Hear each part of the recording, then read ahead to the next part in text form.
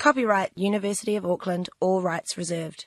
The content and delivery of lectures in this course are protected by copyright. Material belonging to others may have been used in these lectures and copied by and solely for the educational purposes of the university under license. You may record the lectures for the purposes of private study or research, but you may not sell, alter, or further reproduce or distribute any part of these lectures to any other person. Failure to comply with the terms of this warning may expose you to legal action for copyright infringement by the copyright owner and or disciplinary action by the university.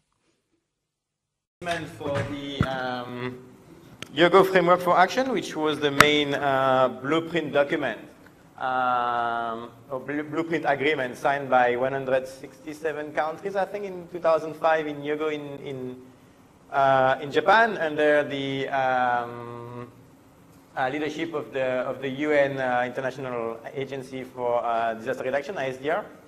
And um, so this document, the HFA Hyogo Framework for Action, came to an end uh, last year. And um, a big meeting was organized in, in Sendai in Japan with 180 plus countries who ultimately, after very long negotiations and, and diplomatic um, closed door meetings, uh, came up with this Sendai framework for disaster risk reduction, which is the blueprint document now guiding DRR, disaster risk reduction, for the coming 15 years uh, worldwide, so it's not a binding treaty, so there's no obligation to actually uh, meet the outcomes, expected outcomes of the, of the Sendai framework, but each and every country will have to report uh, on a mechanism which is not yet defined, and on a time frame which is not yet defined, possibly every two or five years, not yet sure, uh, about their achievements in terms of meeting the goals of the uh, SFDR. And this is what we want to talk about today, where uh, New Zealand uh, cities and, and, and, regions are in terms of uh, moving towards uh, achieving these goals. So these goals are basically four. Uh, the first one is about understanding disaster risk, and this is very much inherited from the Hyogo framework, which had the same, the same goal. So understanding why we have disasters, basically. The second goal is about uh, strengthening disaster governance. Um, so how we embed um, DRR within everyday governance and, and development and, and, and um, councils management in New Zealand. Uh, the third goal is about investing in DRR, so putting the, the appropriate resources towards um, achieving these goals. And the fourth goal is about preparedness, it's about actual DRR, and it's about building back better, so recovery, which is new somehow compared to the HFA before, which was more um, pre-disaster focused. So what we're going to have now uh, is that uh, Mischa, Kate, and Keith are going to talk about uh, these goals. So Keith is going to talk more about the first goal, somehow, understanding disaster risk. Uh, Kate is going to talk second on the second and third goals, so the governance and uh, investing in DRR. And Mischa uh, will talk about the fourth goal, uh, which is again about uh, investing in preparedness, uh, actual DRR, and build back better or recovery. Does this make sense? Yeah? So, Keith, the floor is yours.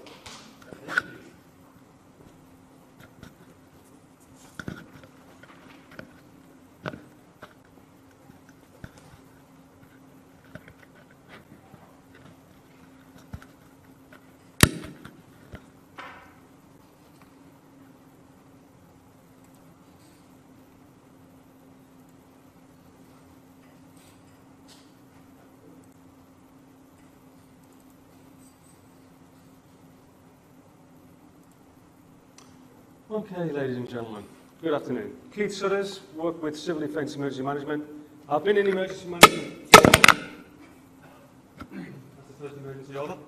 Uh, I've been in emergency management for 30 years, and I've spent the last year working with Civil Defence here in Auckland.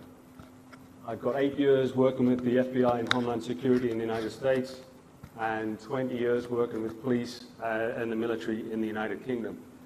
Uh, I'm an operator I'm the sort of person that goes on the ground and tries to help. Uh, so what I'm going to talk to you about now is not from a strategic level. Uh, it's more looking at the framework from an operational level and how we will help communities. There are pictures on here, but there are not many words because I want to invoke a few thoughts from yourselves. New Orleans, Katrina actually happened whilst I lived over in the United States. So I've got a lot of information and feedback with regards to what happened there. But a statement that came out from the City Resilience uh, document that they created in New Orleans, and I'll quote this because I don't want to get it wrong. City resilience is the capacity of individuals, communities, institutions, businesses, and systems within a city to survive, adapt, and grow, no matter what kind of chronic stresses and acute shocks they experience. There's your community member, there's your city, and that's what's left of his property. I've got to try and help that. I've got to try and prevent something like that occurring, or at least reduce those risks. Who do I also need to invest in that in order to, to be successful in doing so? So as an organization, I'm here to help. Who do I need to actually buy into that in order to make it achievable?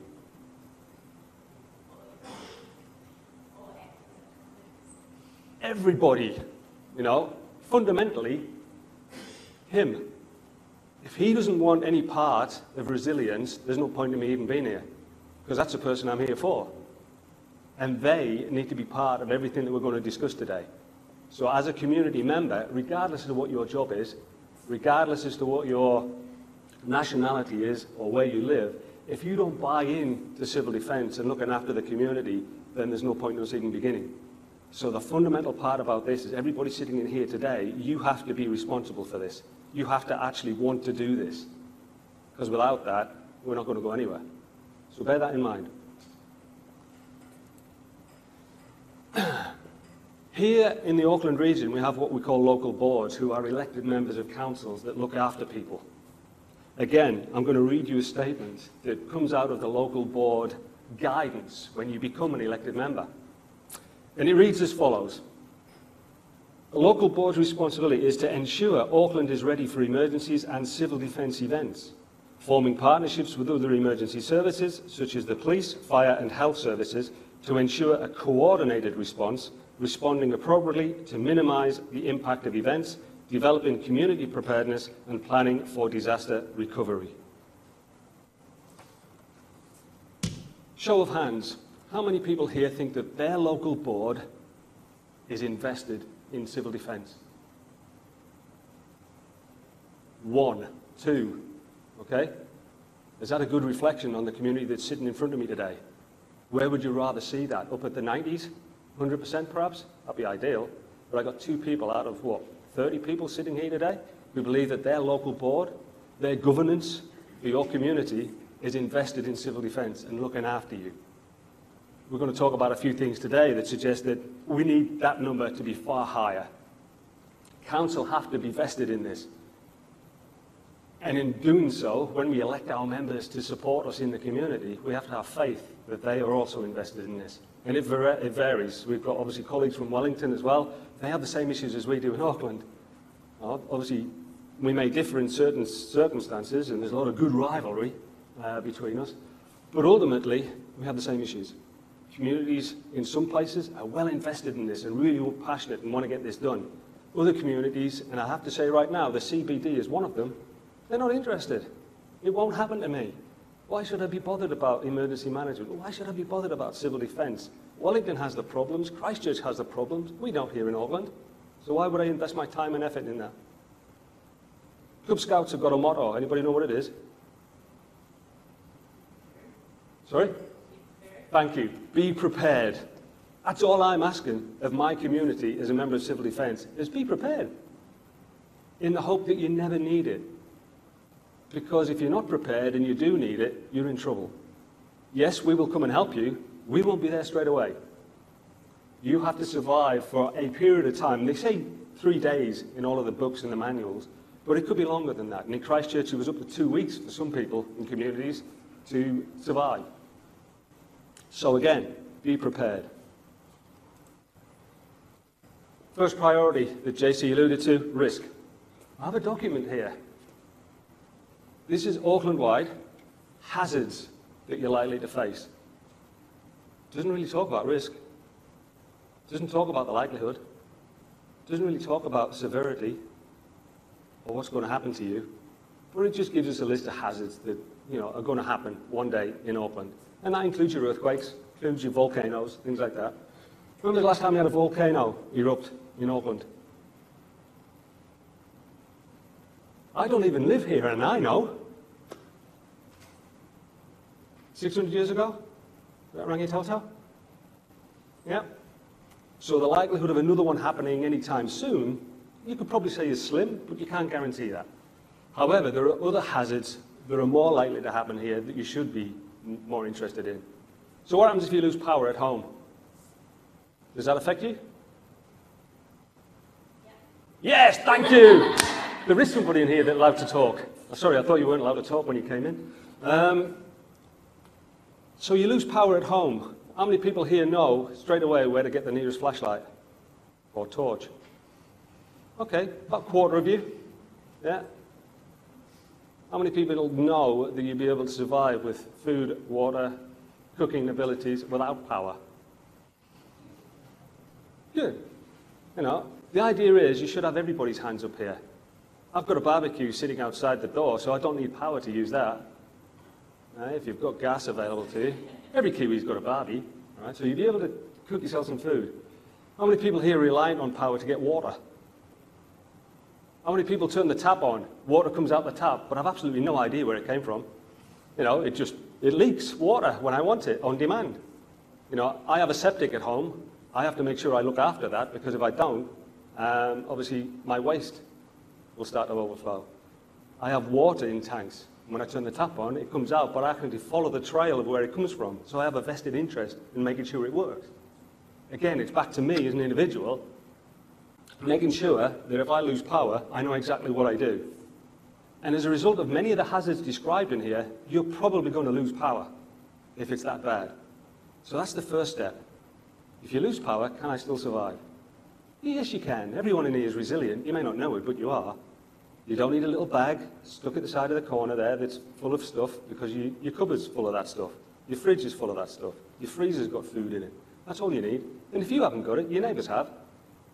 How many people here can honestly say they know who their neighbours are? About a quarter of you. You know, I'll be the first to admit I don't really know who my neighbours are. But if there's an emergency, I'm hoping I can knock on their door and not face a shotgun or something for trespassing. You know, at least I'll get some help. Uh, so knowing your neighbours before these things happen is even better. So what we have is a book of hazards, but we don't really look at the risks. So perhaps we need to spend a lot more time in looking at that and what the likelihood is of what these hazards are going to happen. And there are some hazards that, that are happening today, unfortunately, that we don't even count for. Acts of crime, acts of terror, they're part of civil defence now, whether we like that or not, because that will affect your community. And my job as civil defence is to look after that community. Governance, I won't go into this in too much depth, but that sentence I read out to you about the local board, that is your governance. Those are the people that are looking after your community from a council perspective. Uh, and at the end of the day, your government signed up to the Sendai framework. That should filter down to your local boards and your councillors to look after you.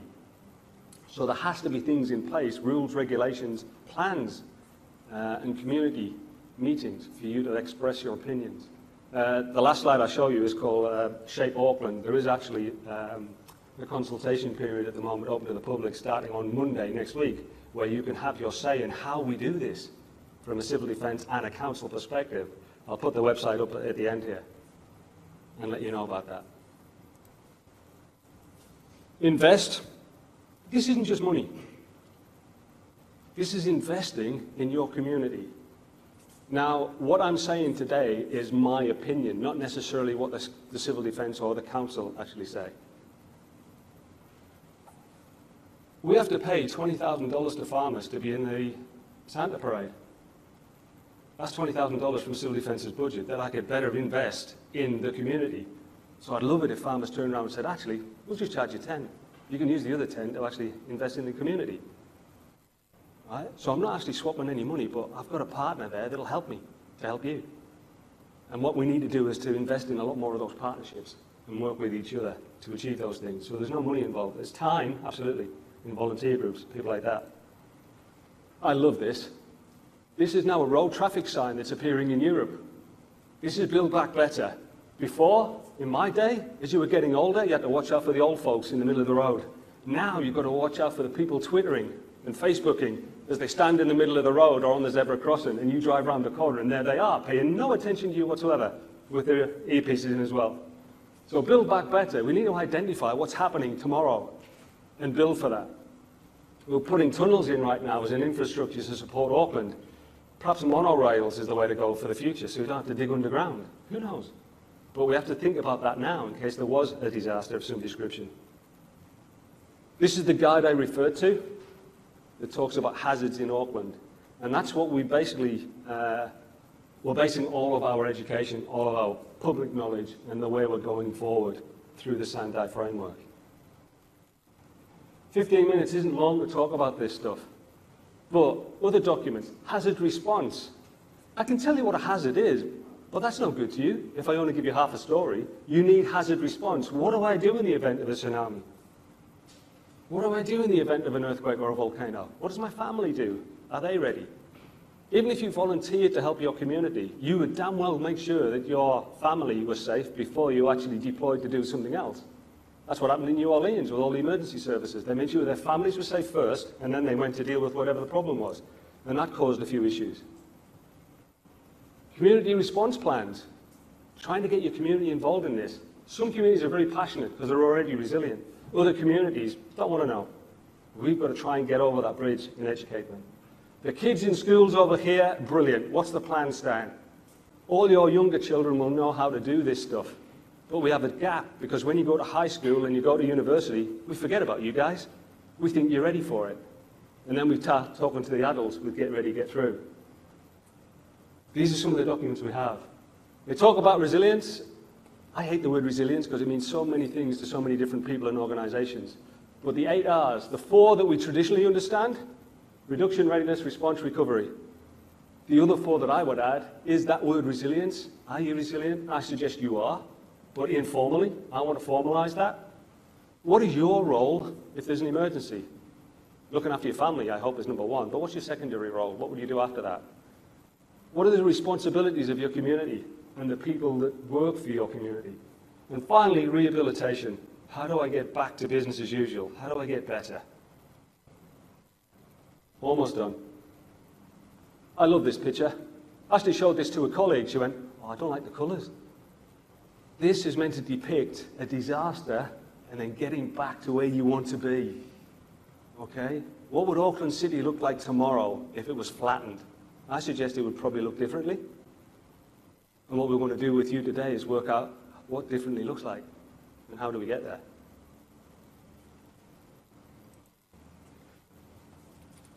Community and you, front and center. And that's everything just about around you that will support you in surviving a disaster. This is the before, during, and after. How do we prepare you? How are we proactive? How do we educate you before this happens? During, definitely a response operationally, which is where I come in, trying to help you during your time of need. And then after, the recovery period, which actually starts at the beginning. I should be teaching you how to recover long before you need to. So that's my contact details if you need to. That phone is on 24 7. I actually live out of Bethells Beach on the west coast, so there's no reception, so that's great for me when I'm at home. All right? Uh, however, if you want to have more say in this and what your community should be prepared for and what your councillors should do, please visit that website as of Monday next week and start to put some of your comments in writing. It will definitely shape the way we do things in the future. We won't capture it all today, but this is your opportunity to have your say. Thank you.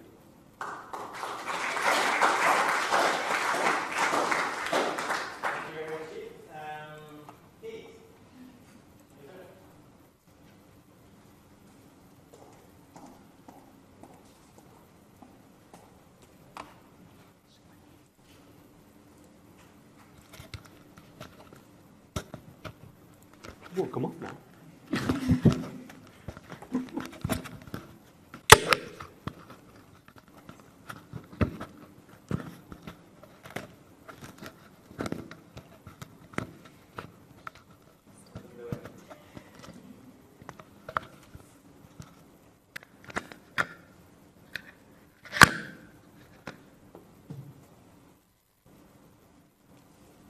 Beautiful.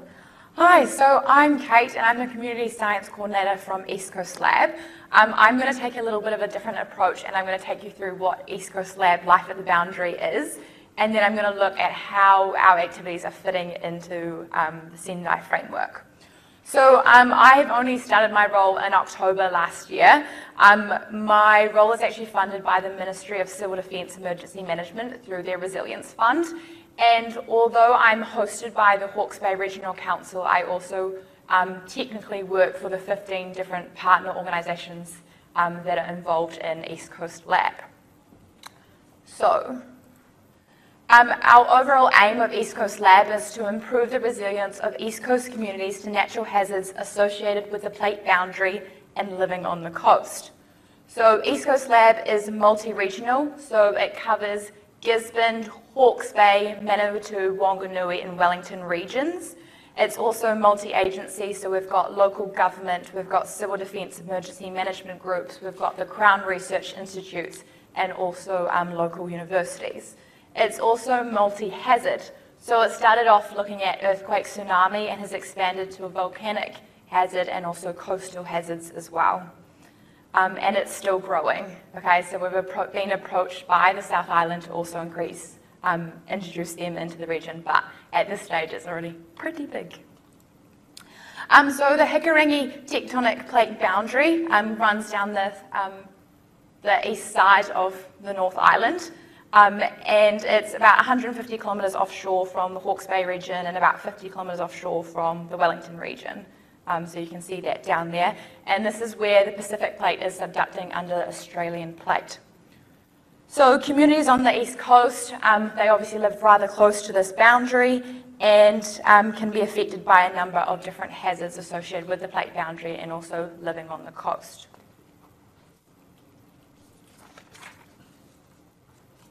Um, so East Coast um, Labs started, um, obviously from the awareness of risk um, this, these regions all have historically quite large natural hazard events such as the 1940s um, tsunami that affected the Gisborne coastline with waves that came up to about 10 metres above sea level, um, the 1931 Hawke's Bay earthquake, or I think this is the 2008 earthquake um, that obviously had minimal impact on the region. Um, but of course, these regions can all be affected. And then when we're bringing in ideas about the megathrust earthquake, it brings in another dimension. Um, we're also vulnerable to secondary hazards associated with volcanic eruptions. Um, and so this is kind of what brought this on. We wanted a multi-regional response to these hazards because of course these hazards don't stay within the region, they are multi-regional. So also um, was uh, impetus was this for the East Coast Lab was also a tsunami risk um, survey. So um, participants in Napier were asked what would warn you of a potential tsunami in Napier.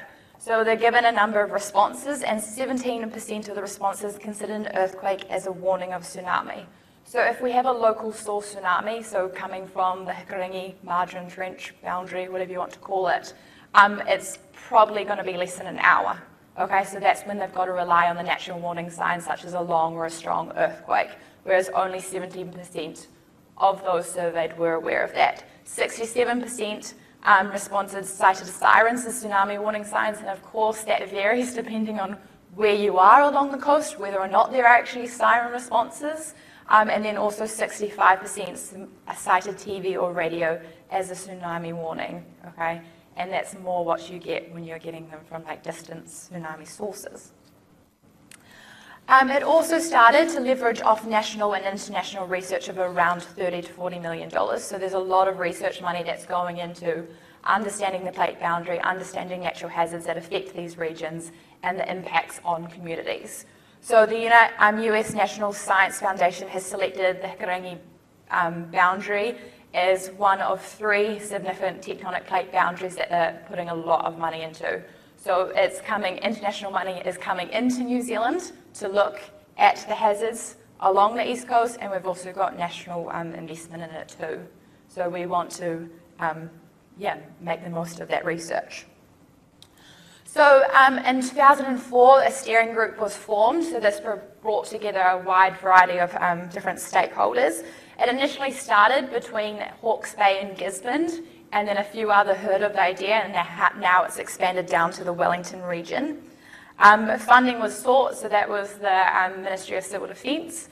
Um, Community Science Coordinator was appointed, so that's me. Um, and then now we currently have a project plan. We've got our goals, we've got our objectives and activities to work um, towards achieving that. So we're not quite yet officially launched. That won't be until later this year. Um, so we're still in process. And this is a project, so we're aiming for five years, and then again, we'll continue to reflect on it as we go through. So as I said, we've got a number of diverse um, partners. So we've got the GNS, Natural Hazards Research Platform, NIWA, Massey University, the Joint Centre of Disaster um, Earthquake Commission, Ministry of Civil Defence, Gisborne District Council, Hawke's Bay Regional Council, Hawke's Bay Civil Defence, Greater Wellington, Manawatu, Wanganui Civil Defence Emergency Management Group, National Aquarium of New Zealand, Napier City Council, and Living at the Edge, which is a research group. So we've got a wide, wide variety there. And I guess coming from an academic perspective, um, that's probably going to be critiqued because it is quite top down, as I'm pretty sure JC would mention. Um, but in terms of this, these are all people that are councils are hopefully working in the community and the civil defence groups are hopefully working in the community and so are aware of the risk. Um, so again, as I said, our overall aim was to increase the resilience of communities. So we've got four different objectives and these are based around research, education engagement, risk reductions, and then a fourth one which is learnings. So our research objective is to foster well-connected and coordinated research within the natural lab to increase our understanding of natural hazards. So as I've already said, there's a lot of research that's going on and we want to leverage and learn from this research and make it easy for scientists to do research here. Um, we've also created a research database so we know what research is going on, project timelines, who they're involving, what they're doing, their budgets, um, and we're also looking to form a research strategy so we can identify gaps in the research and look at where um, funding can best be placed to continue on. Um, we also want to encourage researchers to develop citizen science projects. So we want communities to be less apprehensive of the science that is going on. We want them to be engaged and involved in the science. Um, so we've created a citizen science um, guideline for researchers to get them um, starting into those projects. And we also want to share project updates um, so that communities are aware of the science that is occurring. So this is um, just a screenshot of the research database. So it's got planned projects, active projects, and also finished projects. Um, you know, the institutions that's doing it, the lead PI, um, what sort of questions and goals it's looking at and a little bit of background there.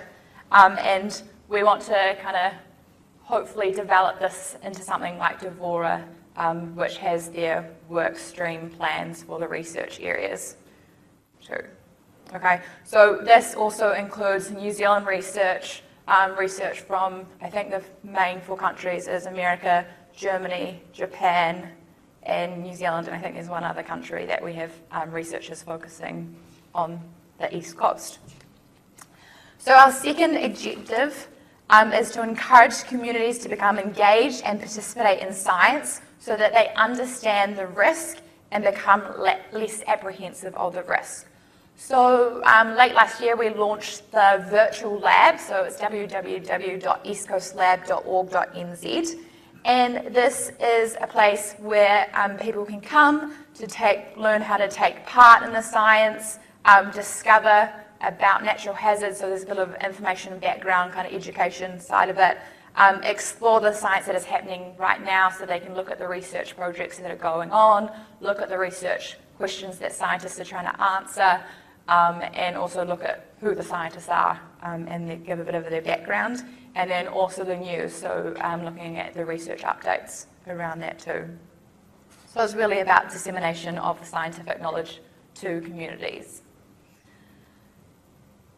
Um, the website really came about as um, East Coast Lab developed and we actually needed somewhere to go for people to actually find out about it and what it is. Um, and again, it's yeah, still being developed. Um, we're also looking at developing the lab. So this is a physical lab. It's an interactive education space um, that will be smack bang on the east coast. Um, and we're also looking at developing, well, we've got some citizen science projects underway. Um, we've got the Chip In initiative through Rotary, um, which is looking at tsunami awareness. It's um, created by the community. We've got the King Tides project, again, something initiated by the community and a Māori Oral Histories project, which looks at the Mātauranga Māori perspective. Um, so hopefully that will be funded. Um, and then late last year, we also had the Turumoko Roadshow for primary schools that went around to rural communities and taught them about um, tsunami and earthquake um, hazard risk and what to do and encourage them to develop family plans, etc. So that's a picture of the roadshow there. We also want to um, risk reduction, so this occurs when we know of our risks and we can get our community involved and obviously participating in the DRR, but also improving the pathway from science to application. So um, even currently now it's already occurring, so I know of the research projects that are going on and I can link it to the civil defence groups that might be interested in learning about the project, etc. Um, encouraging different approaches to science, so that's where we want to encourage like other perspectives. So we've got um, the Mātauranga Māori um, project underway um, and looking at other forms of scientific understanding and knowledge um, and learning from that. Um, part of our funding, we also have to create like a how-to guide. So there's a number of um, regionally branded hazard studies. You might have heard of DEVORA volcanic hazards in Auckland or It's Our Fault down in Wellington. Um, and so we want to provide some guidance for future regional branded studies and see if this is even successful or effective. Um, and part of the learnings is also continue to reflect on it. So is the project working? Is it effective? Is it doing what we're setting out to do? Um, which is quite a big aspect of this. So when we're looking at the Sendai framework, what I've just done is I'm to be speaking about priority two and three. And what I've done is I've picked out a few quotes um, from the framework and have just talked, I'm going to talk around what we're doing to kind of help achieve um, what the Sendai framework aims to do. So priority two talks about strengthening disaster risk reduction to manage disaster, disaster risk. And so it talks about coordination within and across sectors, as well as participation of relevant stakeholders as needed. So this is not a direct aim of East Coast Lab, but it's come about as a byproduct because we're bringing diverse range of stakeholders together and we're starting conversations um, around natural hazards and it's across different regions. Okay. Um, it's also identifying and building awareness of disaster risk, risk knowledge, and that's what we're wanting to build within the community.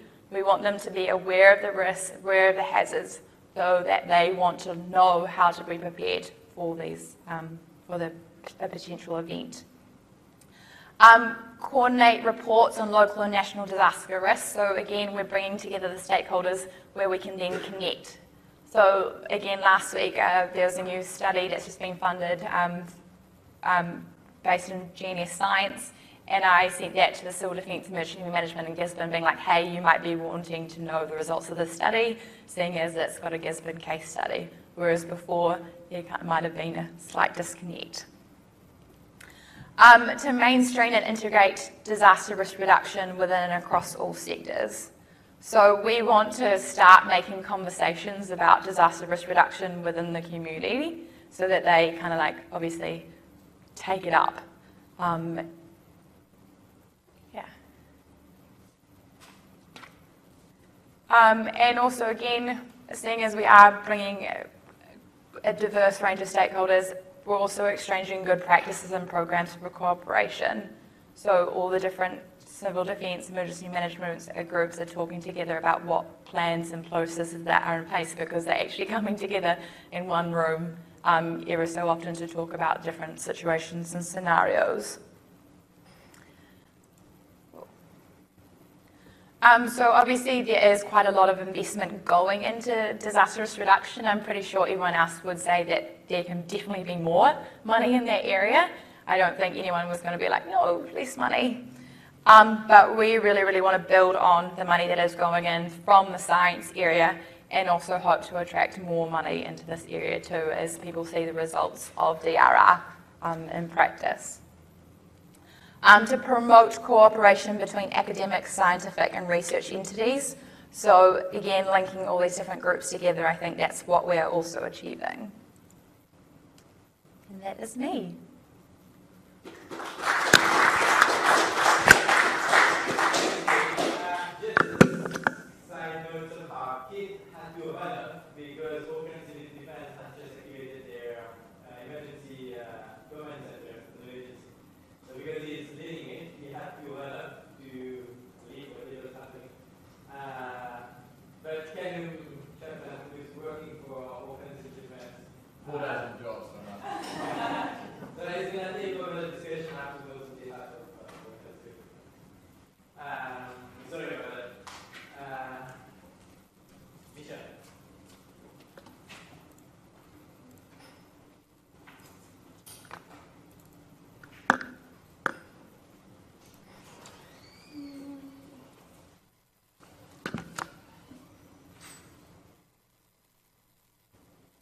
Hello everyone, is it working?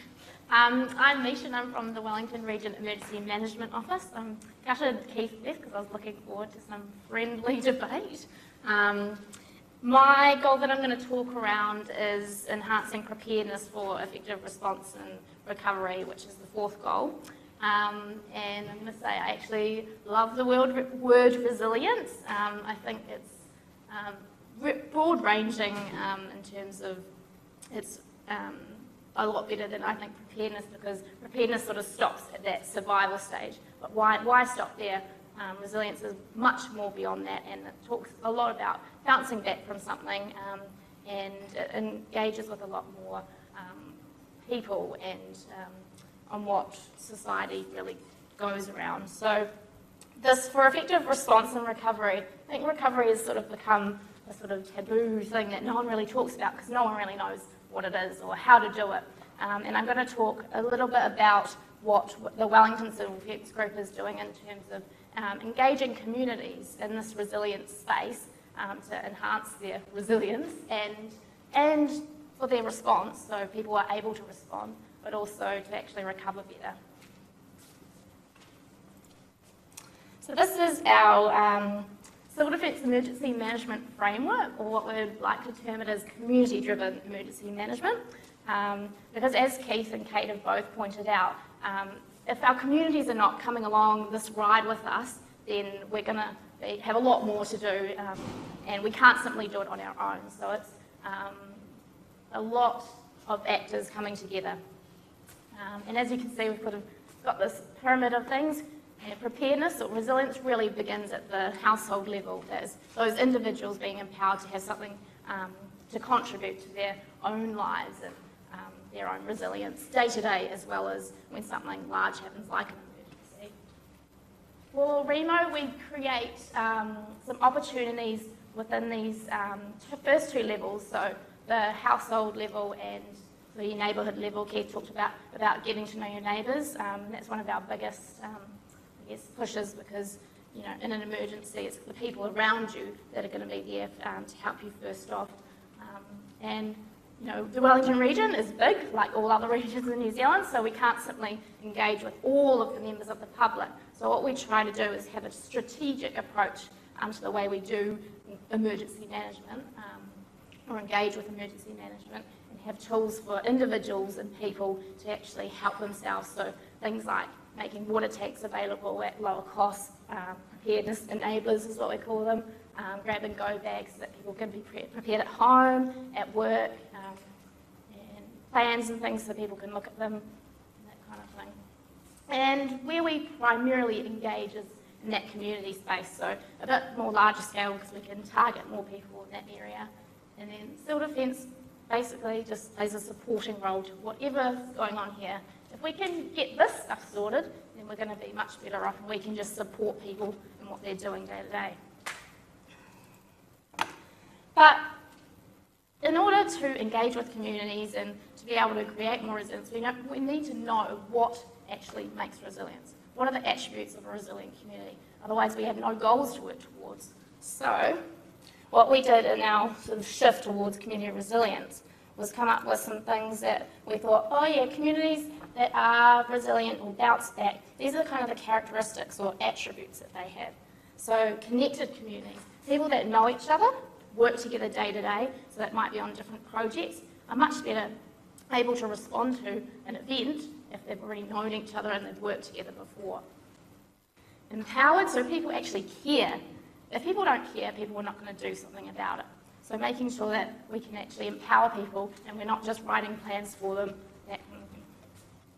Communication, so people know where to go for information. They know who to ask for things. They know they know each other so they can communicate really well in that event. Having realistic expectations is a big one. So people understanding actually I need to be part of the solution and, and act, actively contribute. Um, taking actions to reduce. So uh, we have it quite well in Wellington where people are quite aware of the impacts and everyone's sort of talking about the earthquakes and it's um, quite a big, uh, I guess, awareness in Wellington. But people are actually taking um, proactive approaches to what they can do to reduce the impacts. So it might be securing their furniture or just little things like that. So trust and partnerships. This is a really um, I guess, wishy-washy one, but so, so important that we have uh, trust between our, ourselves, the community has trust between themselves, and they have trust between council and uh, civil defence. And we saw that in Christchurch as a local example, having those partnerships and that active engagement between each other, um, the local level, the government level, and the um, community level is really important private sector, so that plays a large role in making sure that businesses themselves are proactive in doing business continuity plans so they can get up quickly um, running because that's what supports our community as well day to day. And the local governments, it really begins with that local government level. They need to be empowered to be able to respond to these kind of events and uh, even in the recovery they need to be an active role in that um, recovery. And people feel a sense of place and belonging. So a community that actually feels like it is, they are, you know, part of the community, they belong there, they have a sense of um, worth, I guess, and um, they feel like they have something to contribute and they really like the place that they live in, is going to be much better off to um, recover and respond from emergency. So the way in which we um, try to actively engage with our communities is through these three things building capacity, increasing connectedness, and fostering cooperation. So, building capacity is of, you know, people's ability to be able to respond and recover from events. So, that's what I talked about before your sort of basic preparedness enablers, um, building up people's like the local governments, um, training and that kind of thing to do response and recovery.